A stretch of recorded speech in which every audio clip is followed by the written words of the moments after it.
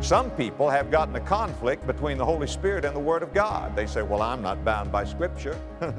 I'm under the Holy Spirit. And others will say, Well, don't tell me what the Spirit says. That's dangerous. I want to know what the Word says. Well, that's an artificial conflict. I want you to know, friend, that the Holy Spirit was the one who wrote the Scriptures. I want you to know that the Holy Spirit is the one who interprets the Scriptures. And it is not uh, the Holy Spirit or the Scriptures. It's not the Scriptures or the Holy Spirit. It is the Holy Spirit and the Scriptures. As the Holy Spirit of God takes the Scriptures and interprets those Scriptures to our hearts, that we learn how to live under kingdom authority. Adrian Rogers was a motivator, an encourager, and a leader of the faith who presented a clear invitation to follow Jesus at every opportunity. He was also passionate about presenting scriptural application to everyday life circumstances. And you'll see that in today's message. Have your Bible ready and join us for this study from God's Word. And if you're encouraged by today's message, remember you can stream this message again and download outlines, notes, a transcript, and other resources to go along with this message, all at lwf.org. Now, let's join Adrian Rogers. Would you take God's Word to be finding Romans uh, chapter 5? It deals with kingdom authority. May I tell you this? Nothing is settled until the matter of authority is settled. Let me say that again. Nothing is settled until the matter of authority is settled. And the church that pretends to be a church and does not operate under kingdom authority is a farce, not a force.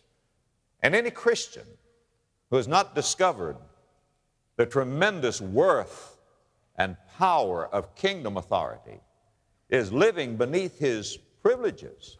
He is a disgrace to grace.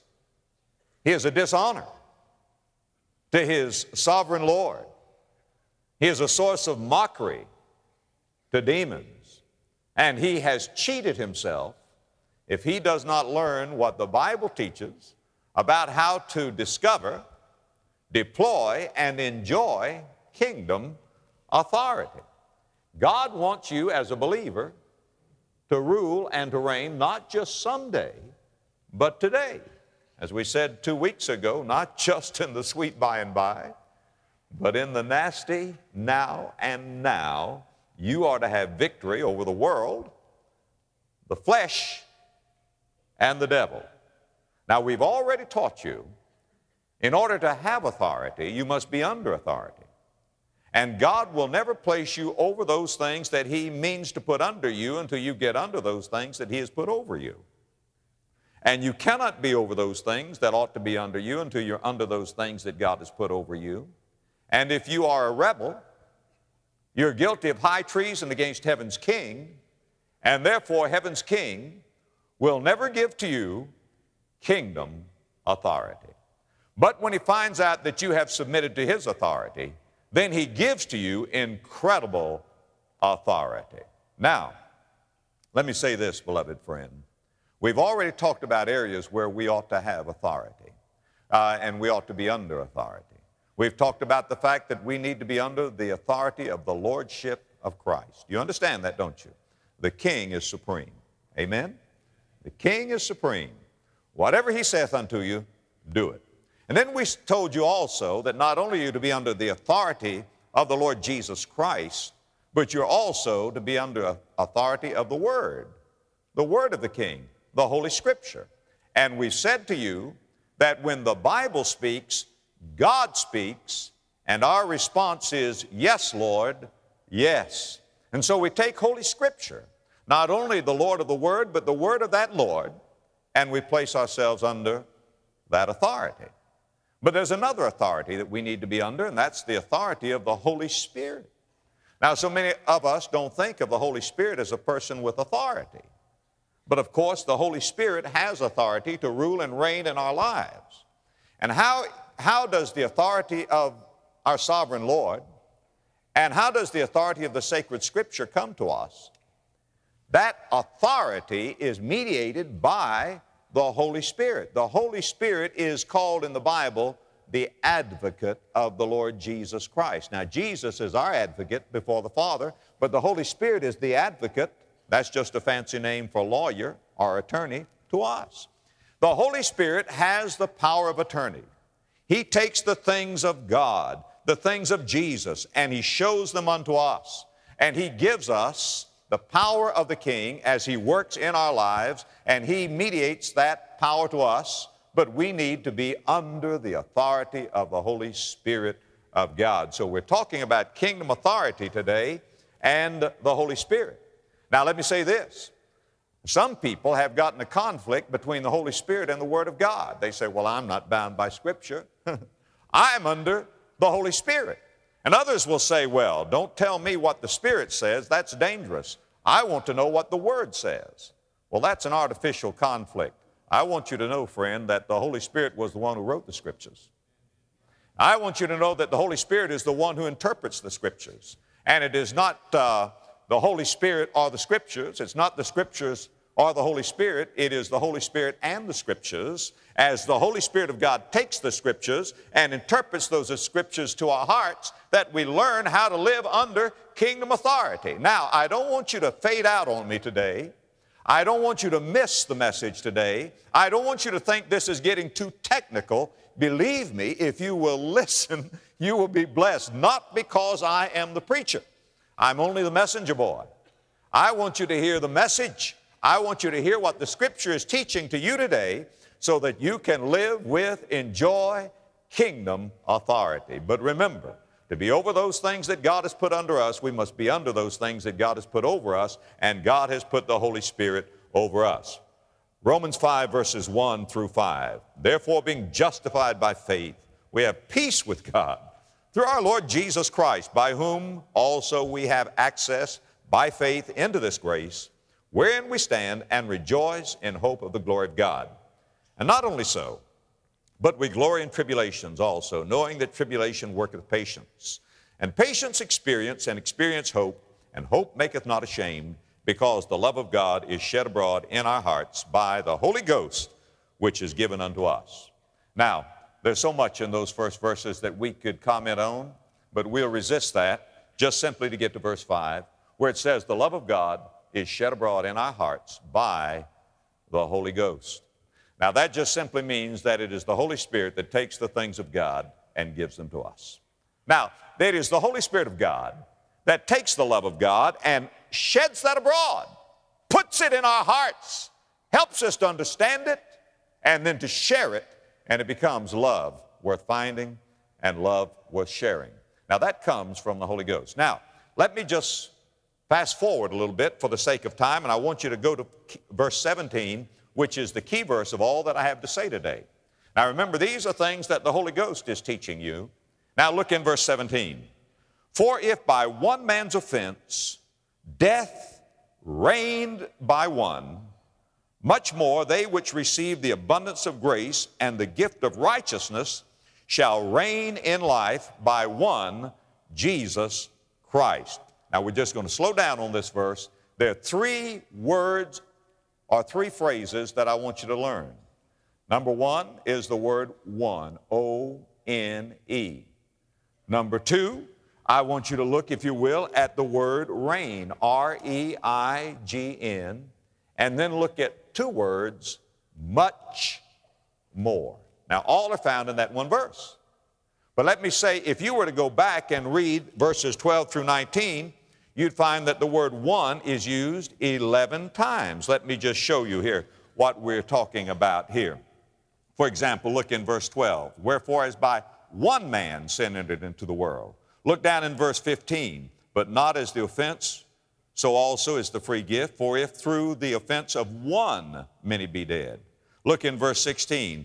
And it was by one that sinned. Look in, again in verse 16. For judgment was by one to condemnation. Look in verse 17, for if by one man's offense, and then the end of verse 17, by one Jesus Christ. Verse 18, therefore, as by the offense of one judgment came. The middle of verse 18, uh, by the righteousness of one the free gift came. Look in verse 19, for as by one man's disobedience. Uh, look in verse 19 again, by the obedience of one. Are you picking up a theme? One, one, one, one, one. Now, as the word one is used 11 times, the word reign is used five times in this passage. Look, if you will, in verse 14. Nevertheless, death reigned. Look, if you will, in verse 17. For as by one man's offense, death reigned. The end of verse 17. Uh, the gift of righteousness shall reign. Look, if you will, in verse 21. That's, that as sin hath reigned unto death. Again, verse 21. So, even so, may grace reign. Now, to reign means to rule, to have kingdom authority. Now, you say, Pastor, I'm not understanding what you're saying. You're just reading a bunch of words. All I'm trying to do is to let you see what the theme is, then we're going to work it out. Okay? Now, the one key word is the word one. Another key word is the word reign. All right? Now, another key phrase is much more. Now, folks, don't miss this. There is an incredible blessing here. Look, if you will, in uh, verse 9. Much more than. Uh, being now justified by his blood. Look in verse 10. Much more being reconciled. Look in verse 15. Uh, much more the grace of God. Look in verse 17. Much more they which receive the abundance of grace. Look in verse 20. Grace did much more abound. Now, all of those words are in that one verse that we were reading just a few moments ago, verse 17. But they're in that entire passage. He uses the word one over and over again. Then he uses the word to reign over and over again. And then he uses the word much more over and over again. Okay? Now let's see what that means. What he is saying is this there are two kingdoms. There's the kingdom of darkness, the kingdom of light, there's the kingdom of Satan, there's the kingdom of God. There's a kingdom of life, there's a kingdom of death, two kingdoms. And then he says there are two men that are associated with each kingdom one man, Adam, one man, Jesus. Now, what he is saying is that uh, you are in one of those kingdoms. You are either with Adam in the kingdom of death, or you are with Christ, reigning in the kingdom of life. But one kingdom will rule and reign over you, or another kingdom will rule and reign over you. So let's go back now to verse 17 and look at it one more time. For if by one man's offense, that's Adam, death reigned by one, Adam, much more, in a greater way, they that receive the abundance of grace and the gift of righteousness shall reign in life, not out yonder, but shall reign in life by one, Christ Jesus. Does that make sense to you? I hope it does. The two men are Adam and Jesus. The two kingdoms are the kingdoms of death and life. And the idea is that everybody under this roof and everybody in listening through television or radio or on tape later on, everybody is in one of those two kingdoms. Either you are in Adam or you are in Christ. Either you are in the kingdom of darkness or the kingdom of light. Now, when you come out of Adam, and you come into Jesus, you get much more in Jesus than you ever lost in Adam. That's the reason why he keeps on saying much more, much more, much more, much more. Now, all of that is just to set the stage. Got it? Got it. Now, here's where we're going. Let's see, first of all, what we lost in Adam. And then, secondly, we're going to see what we gained in Christ. And then thirdly, we're going to see what we ought to do about it. That's simple enough, isn't it? Okay, let's go. Now, what did we what did we lose in Adam? Or what did we, put it positively, what did we receive from Adam? Go down to verse 19. For by one man's disobedience many were made sinners. So by the obedience of one shall many be made righteous. Now, who was the one who disobeyed? His name was Adam. Who was the one who obeyed? His name is Jesus. And so now what did we receive from Adam? Remember that Adam was the first man. He was the federal head of the race. Adam was given dominion over the earth. When God made Adam and Eve, He said, let them have dominion. But Adam sold himself into slavery. Adam sinned, and he became the slave, the servant of Satan. And we are his progeny. We are his offspring. And remember this that a child of a slave is a slave, is a slave, is a slave, is a slave. A child of a slave is a slave. Adam sold himself into slavery, and sin now has dominion over the one who was to have dominion over all of the earth. And we are in Adam, and because we're in Adam without the new birth, we are identified with him in this slavery. Now, folks, we all have our roots in Adam. Sometimes people have the idea that we are in the image of God. You know, they say, well, man is in the image of God. Come on, folks. Look around. You think God's in this shape? Adam was in the image of God. We are in the image of Adam. The Bible says that God, that Adam brought forth a son after his likeness, in his image, in Adam's image. And the, the, the image of God was in Adam. But the image of God has been marred and defaced. And now we do not bear the image of God. Only faint echoes of the image of God are in us. What we see in all of us is the image of Adam. So you've never seen a man as a man was intended to be. You've never seen what God had in mind.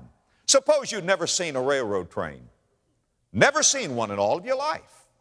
I talked to a little boy one time in uh, Key West, Florida, who'd never seen a railroad train. He never left Key West, he'd never seen a train. Suppose you've never seen a train. Suppose I took that little boy and I brought him to Memphis, Tennessee, and let's suppose there'd been a train wreck in Memphis, Tennessee.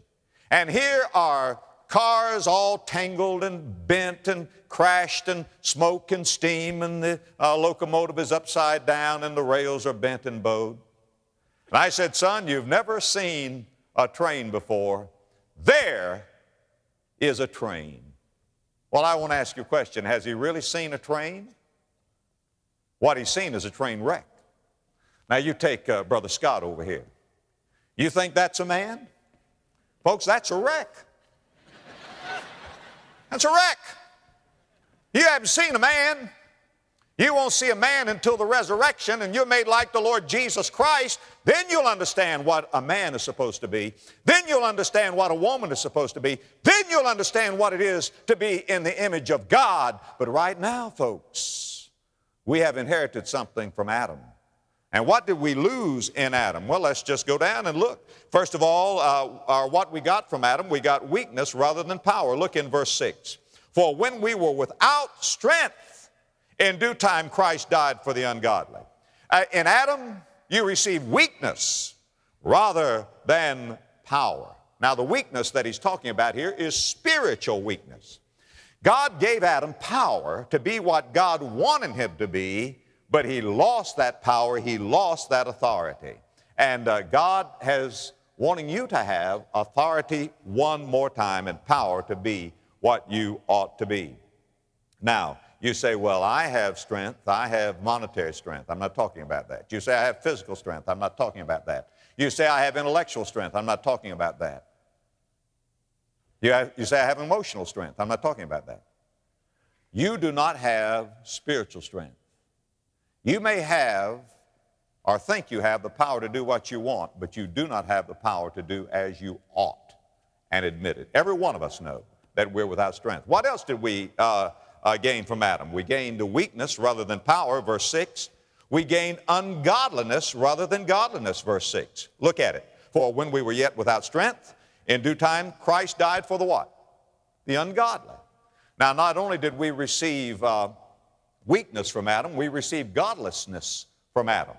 To be ungodly doesn't mean to be vile, it just simply means not to be like God. It doesn't mean that you're an axe murderer, it doesn't mean that you're a rapist. It just simply means that you are not godly. You are not in God's image. You're not godly. Why? Because of Adam. You know, one of the problems with many of us, we measure ourselves by ourselves. The Bible says a man that measures himself by his, himself is not wise. But that's what we do. We look at ourselves and we have our own little standard.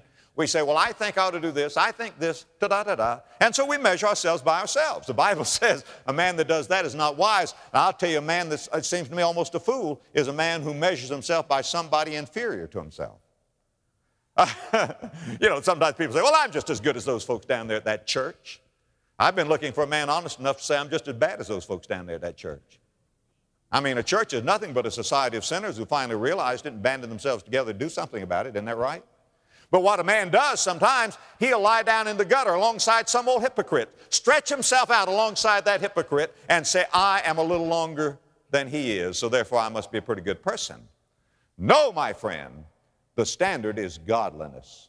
Do you know what sin is? It's found in Romans 3, verse 23. For all have sinned and come short of the glory of God. Do you want me to tell you what sin is? It's that difference between you and the glory of God. That's what sin is. Sin is that difference between you and the glory of God. The Bible just simply says we're ungodly. Now, we're to be like God, we're to be righteous and holy like God, but from Adam, we received ungodliness. What else did we receive from Adam? We receive sinfulness from Adam. Look in verses 7 and 8. For scarcely for a righteous man will one die, yet peradventure for a good man some would even dare to die. But God commendeth his love toward us in that while we were yet sinners, Christ died for us. And so we're weak, we're ungodly, and we're also sinful. Now, the word for sinner here is the word that means to miss a mark. It's like a man uh, shooting a bow and arrow, and he fails to hit the bullseye right in the center with absolute perfection. Do you know what God's standard for you, for me, is? Absolute perfection. Is there anybody here who thinks that he's perfect, who's never missed the mark, always hit the bullseye? Uh, I know that you know that you're not. Uh, you know, the Bible says that sin is the transgression of the law. That, the Bible says that in 1 John chapter 3 and verse 4. Sin is the transgression of the law. If you've ever broken one of God's laws, you're a sinner. You say, well, I haven't broken all of them. Well, if you get stopped for a traffic violation, do you think it's going to do you much good to tell the policeman all of the laws that you didn't break? The Bible says, whosoever shall keep the whole law and yet offend in one point, he's guilty of all. You say, I don't understand that. Suppose you're suspended by a fire with a chain of 10 links. How many links in that chain have to break before you fall in the fire? 10? Just one. Just one. Uh, whosoever shall keep the whole law and yet offend in one point, he is guilty of all, is what the Bible says. Sin is the transgression of the law. But let me tell you something else that sin is. Sin is not only doing what you ought not to have done, but sin is failing to do what you ought to have done. Therefore, to him that knoweth to do good, and doeth it not, to him is sin. Have you always done everything that you thought you ought to do? Everything that you knew that you ought to have done? To him that knoweth to do good, but doeth it not, to him it is sin. God not only has us guilty for what we have done that is wrong, but for what we failed to have done that we ought to have done, the sins of omission. Who can say he's always done what he ought to have done in every occasion? But not only that, we, we, we're sinners when we don't believe God, when we don't have faith. The Bible says in Romans 14, verse 23, for whatsoever is not of faith is sin. You say you've always had faith, perfect faith, you never doubted God, never done anything that was doubtful. Whatsoever is not of faith is, is sin. And, and unbelief is the mother sin, the father sin, the sin of sins, the sin that will damn you and send your soul to hell. He that believeth on him is not condemned, but he that believeth not is condemned already because he hath not believed. No greater sin than aim the gun of unbelief at Christ on the cross and pull the trigger. But not only that, but friend, the Bible teaches that human goodness is sin. Many people don't understand this. Proverbs chapter 21 and verse 4 says this A high look and a proud heart and the plowing of the wicked is sin. What does that mean? What does that mean? It means when a man in arrogancy goes out here to farm and he puts his plow in God's green earth. When he takes the seed that is made to germinate, a great miracle is a seed. I ponder and I think about seeds often. He takes that little brown thing, that seed, and puts it in the ground that's going to sprout and throw off its little overcoat and shoot up through the earth and bring forth life. That farmer puts that seed in the ground, and then he depends upon God's rain to fall upon it. and yet he is proud and he's arrogant and he never gives God thanks and he never looks up to think of where it comes. The Bible says the plowing of the wicked is sin. The plowing of the wicked is sin. Everything that an unsaved man does without God is sin. He contaminates everything that he touches. Human goodness is the worst badness when it becomes a substitute for the new birth. Now, now listen, what did we receive from Adam? Weakness, what did we receive from Adam? Ungodliness. What did we receive from Adam? Sinfulness. What else did we receive from Adam? Wrath rather than approval. Look, if you will, again in verse 9. Much more than being now justified by his blood, we shall be saved from wrath through him. That's a word that we don't hear much about today. But there's the wrath of God. And where does, what does that wrath of God lead us toward? Verse 18 says, toward condemnation. Now, people have a lot of ideas of what's going to happen to people who are sinners who die in Adam. But, friend, the Bible says in Adam all die. The Bible does not teach reincarnation. The Bible does not teach a chance after death. The Bible does not teach annihilation, that you're just simply going to disintegrate. The Bible does not teach universalism, that everybody eventually is going to be saved. The Bible teaches that if you die, outside the Lord Jesus Christ, if you die a natural man, if you die in Adam, you will face the sure judgment of God. You will die and go to hell. I can't put it any plainer than that. I don't say that with glee. I would not be a good preacher. I would not be your friend if I did not tell you that. We receive from Adam wrath. Our sins deserve the righteous judgment of a holy God, and God's anger burns against sin. And then what else do we receive from Adam? Warfare rather than peace. Look, if you will, in verse 10. For if then, when we were enemies, we were reconciled to God. Did you know that if you are in Adam, you are an enemy of God? Did you know what sin is? Sin is high treason against heaven's king. What sin is? Sin is a clenched fist in the face of God. You say, I'm not an enemy of God, Pastor.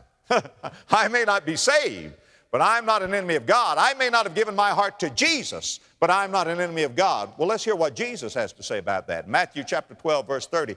Jesus said, He that is not with me is against me. And he that gathers not with me is scattering abroad. Either you're gathering for Christ or you're working against Christ. If you're not with Christ, you're against Christ. You cannot be neutral. Pilate tried that, and he failed miserably. And today I want to say to every one of you in this building, if you're not out and out 100% for Jesus Christ, you are out and out 100% against Jesus Christ. You need to understand that. We received all of this from Adam. Now, now let, let, let's, uh, let me just pause here and say, somebody said, I don't like that. I don't like that at all. I rebel against that. I mean, why should I be held accountable for what Adam did? I mean, I didn't vote for Adam. Why should I? As a matter of fact, what Adam did has absolutely nothing to do with me. Is that right? You think that? Well, I want to ask you a question. If Adam had had no children, where would you be? don't say what Adam did had nothing to do with you. You say, well, I don't want to be held guilty for Adam's sin. Okay, how about yours? Is there anybody here who would say he has not sinned? Don't worry about Adam's sin. You've got enough sin of your own to worry about. I, I mean, listen, if you had been put in Adam's place, you would have made the same choice that Adam made. You say, Was God just to let me suffer for Adam's sin? Not only was He just, but He was merciful and wise. Listen very carefully. Friend, because we're condemned by one man, hallelujah, we can be saved by one man. Listen to this. Listen to this. You see, if, if it were not that we were in Adam, we could never be in Christ. Thank God. Thank God for this one man salvation. For as in Adam all die, even so in Christ shall all be made alive. Now we've been thinking about what we lost by one man, Adam. Let's think of what we gained through one man, Jesus. And the idea is that we gain much more than we ever lost in Adam. That's what he's talking about. Now look at it. First of all, there's the much more of our justification. Look in verse 9. Much more than, much more than, much more than being now justified by his blood we shall be saved from wrath through him. Well, you say, what, what, what is the much more there? Well, Adam was only innocent. We are positively justified. Remember, there are three words when you think about the cross you always need to remember. One is justice, one is mercy, and, and the other is grace. Justice, mercy, and grace. Remember, justice is God giving us what we deserve, which is judgment. Mercy is God not giving us what we deserve. And grace is God giving us what we don't deserve. Okay? Those three words, they're all met in Calvary. When, when, when my sins were laid upon one man, the Lord Jesus Christ, then God's justice is satisfied. That sin has been paid for. And therefore, when I don't uh, endure the wrath of God, God's mercy is shown. But then when God makes me righteous, God's grace is given. That's all in Calvary.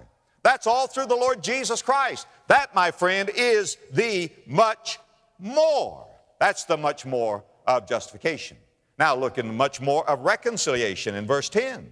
For if when we were enemies, we were reconciled to God by the death of His Son, much more being reconciled, we shall be saved by His life. You see, when Jesus died on the cross, He gave Himself for us. But then when He sent the Holy Spirit, He gave Himself to us. And now we have that fellowship with God that uh, was severed when Adam sinned. We're reconciled. Now I want to be clear and plain about this. It is not God that is reconciled. God doesn't need to be reconciled. We're the ones who are reconciled with God. You say, how do we have much more than Adam had? Well, friend, Adam walked with God in the garden but I have the Holy Spirit within me. Much more. Much more. You talk about reconciliation. Friend, it is much more. And then there's the much more of our regeneration. Look in verse 15, the last part of verse 15. Uh, much more the grace of God and the gift of grace, which is by one man. Now, that the grace of God just means that God has, has regenerated us. He's not just simply saved us from wrath, he has come into our hearts and given us life. We say, what's the difference? Adam had life, I have abundant life.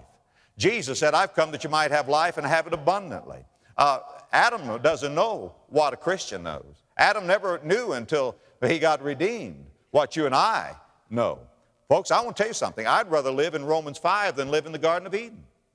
Uh, listen, it, it, is, it is the much more of uh, regeneration. And then there's the much more of righteousness. Look again in verse 17. For if by one man's offense death reigned by one, much more they which receive the abundance of grace and the gift of righteousness shall reign in life.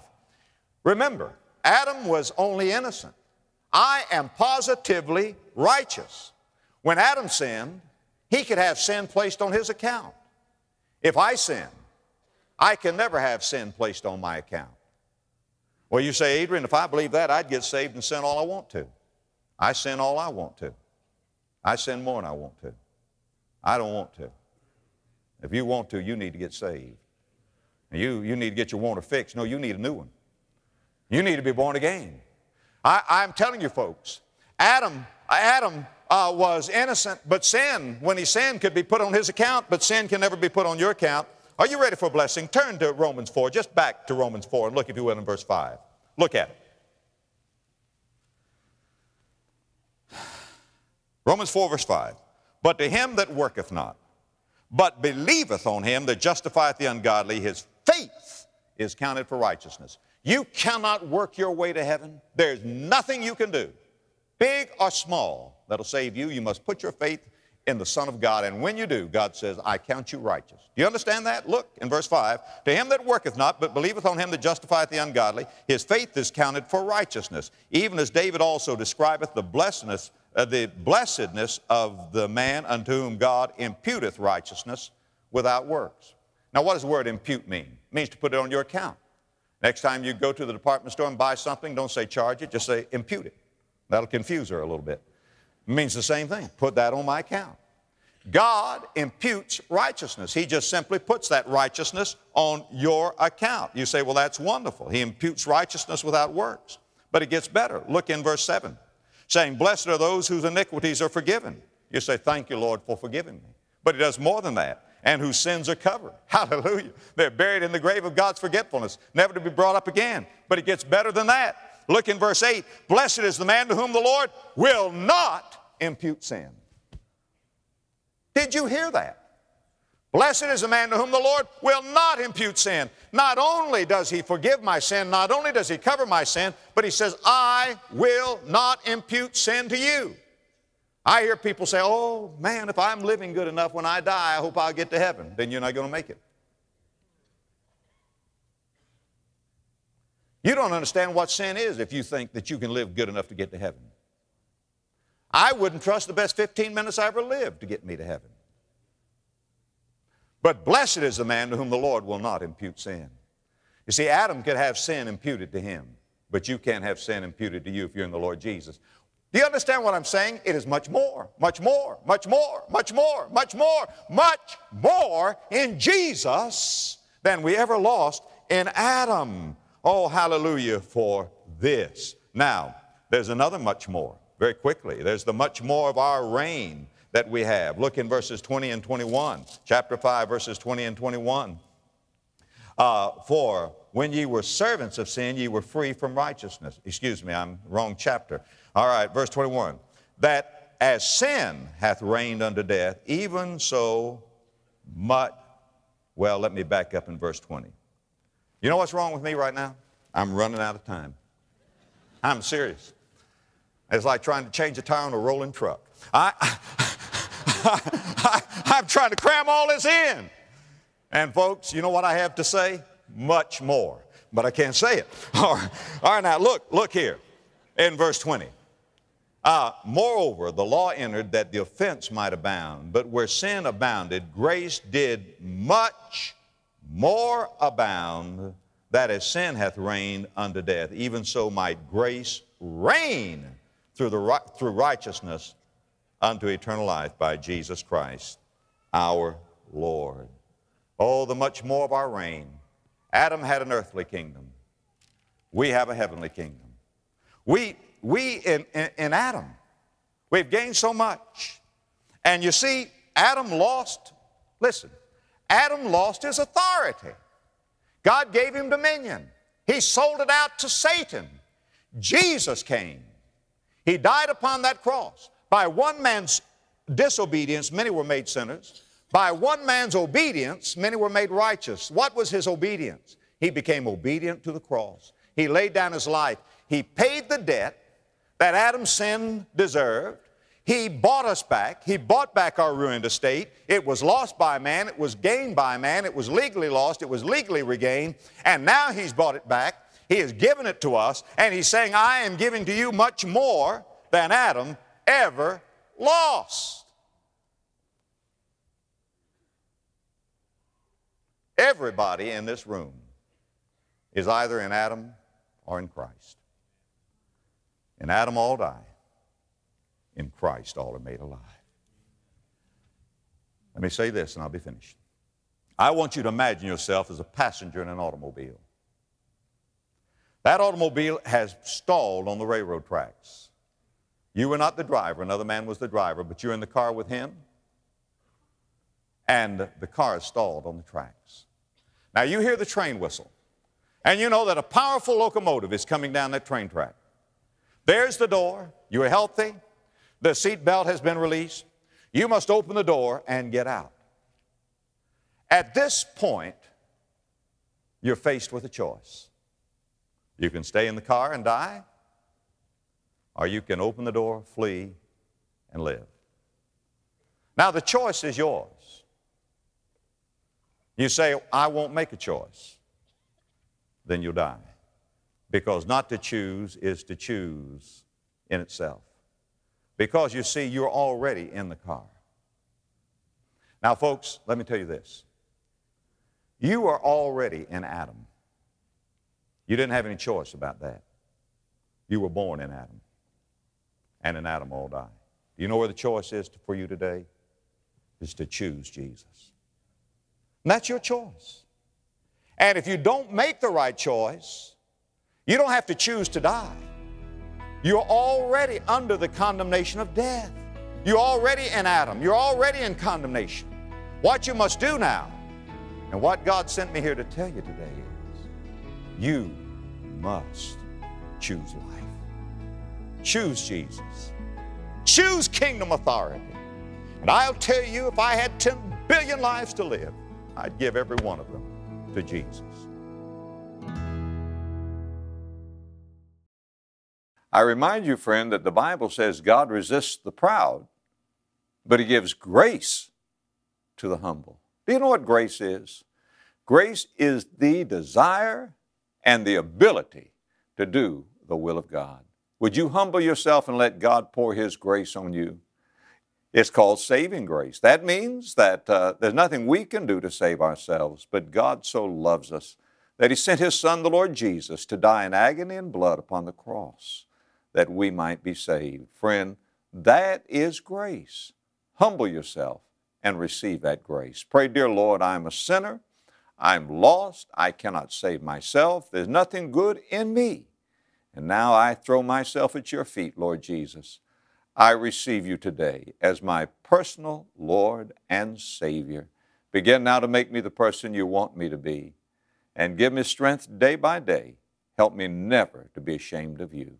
Thank you, Jesus. Thank you for saving me. Pray that prayer and mean it, or pray something like that. And if you do, write to us and let us know. We'll rejoice with you, we'll pray for you, and we'll send you some literature absolutely free to help you get started in your Christian life. We hope that today's message has been an encouragement to you as we've studied God's Word together. For more resources from Adrian Rogers, including copies or downloads of this message, as well as Pastor Rogers' outline, notes, or a complete transcript of this message, please visit our website, lwf.org. You can also check out the complete series available through our online store. At lwf.org, you can also sign up to receive our new daily heartbeat email. Each heartbeat contains a daily scripture and devotional thought from Adrian Rogers, an inspirational 90 second treasure from the Word, as well as a link to our daily radio program, all in one place, delivered directly to your computer or mobile device each morning. And if you're looking for some inspiration or encouragement to get you through the week, check us out on social media at LWF Ministries. Join us next time as we continue this powerful series of messages from Adrian Rogers. Thanks for joining us for today's program. We'll see you next time. How can you know the Bible is the Word of God? How can you keep your spiritual fire burning in the mundane times? Prepare to see your Bible in a whole new light and experience the life changing power of Scripture through five dynamic lessons from Adrian Rogers. To say thank you for your gift this month, we want to send you our God's Word booklet collection featuring five insightful booklets covering a range of practical topics, such as how to make your Bible come alive, how to know the Bible is the Word of God, how to keep your spiritual fire burning, how to have a meaningful quiet time, and how to put power in your prayer. Request the God's Word booklet collection when you call with your gift 1 800 647 9400 or you can give online at lwf.org. This bundle is a perfect tool for those who want to nurture their growing faith. Call or write today.